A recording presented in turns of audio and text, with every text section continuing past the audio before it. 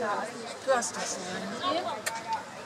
So, die zweite Lokomotive in unserer Parade ist die E6903. Sie ist ein frühes Beispiel für die Elektrifizierung der Eisenbahn. Im Jahre 1912 wurde sie als LAG 3 von der Lokalbahn-Aktiengesellschaft für die Strecke zwischen Monau und Oberammergau in Dienst gestellt. Diese Strecke war bereits im Jahre 1904 elektrifiziert und damit die erste elektrische Vollbahn in Deutschland. Wie ihre Schwesterlokomotive war die E6902 für Steigungen auf der Strecke mit einer Höchstgeschwindigkeit von 50 km/h ausgelegt. Sie hat eine Leistung von ca. 478 PS. Bis 1981 blieb die E6903 mit zwei Umbauten und einer Zwischenstation in Heidelberg insgesamt 69 Jahre im aktiven Dienst. Von ihrem Personal wird sie liebevoll Hermine genannt.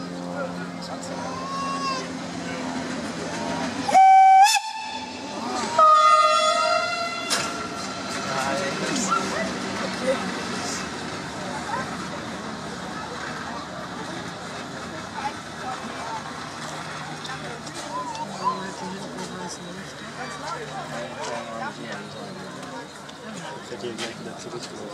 Achso, was? Ich ihn gleich wieder zurück ja wieder. Ja.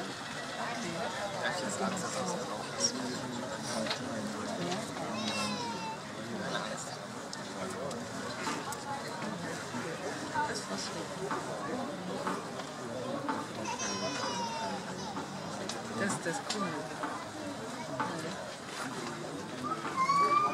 Liegen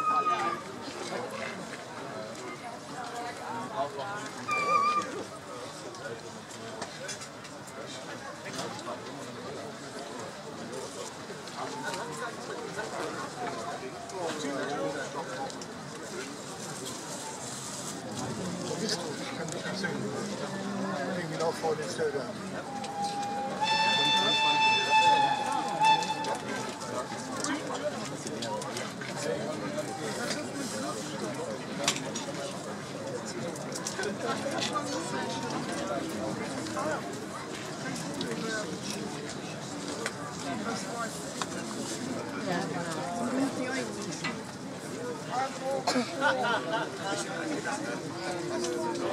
Thank you. Unsere nächste Lok ist die E6010. Sie wurde 1927 von der AEG als elektrische Rangierlokomotive an die Deutsche Reichsbahngesellschaft geliefert. Hauptsächlich für den schweren Verschiebedienst auf dem München Hauptbahnhof gedacht, fand sie zeitweise auch im Vorortverkehr ein Anwendungsfeld. Dafür reichte eine Höchstgeschwindigkeit von 55 km/h bei einer Leistung von 1458 PS aus. Ihr asymmetrischer Aufbau brachte der Baureihe E60 den Spitznamen Bügeleisen ein. Den markanten weinroten Anstrich erhielten die Lokomotiven mit anderen Umbaumaßnahmen am Führerhaus und an den Rangierbahnen im Jahre 1950. Erst 1983 wurde die Baureihe endgültig außer Dienst gestellt.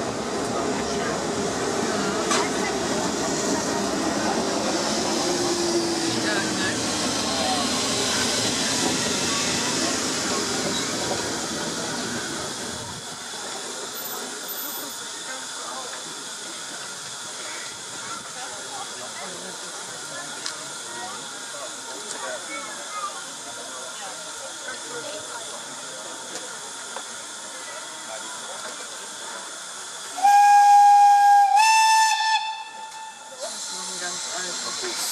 Yeah, complete.